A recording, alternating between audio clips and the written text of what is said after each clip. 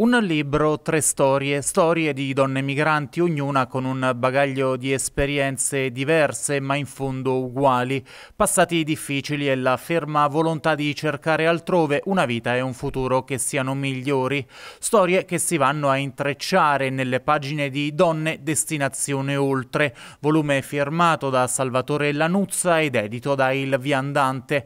Il libro, che è stato presentato in Corte d'Appello all'Aquila alla vigilia del dell'8 marzo, festa internazionale della donna, in fin dei conti fa scaturire dalle sue pagine un messaggio che è chiaro e forte.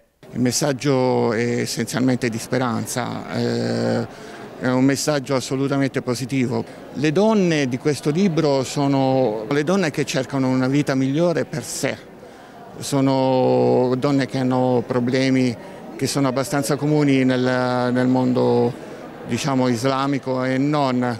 Eh, sono, tratta di, di, problemi di donne, eh, le spose bambine, tratta il problema delle donne che vengono imbustate nei burka e non possono studiare, non possono andare a scuola, parla di problemi di le, le mutilazioni sessuali, l'infibulazione, quindi problemi gravissimi che magari in, eh, in certe popolazioni dell'Africa sono anche ancora purtroppo diffuse. Parla di questi problemi e il messaggio è assolutamente positivo perché queste donne riescono, nonostante le difficoltà sociali, eh, riescono ad andare avanti, riescono a superare i loro problemi e riescono anche addirittura ad aiutare le, le loro amiche, amiche del, del loro paese e quindi vuole essere solo un messaggio di speranza.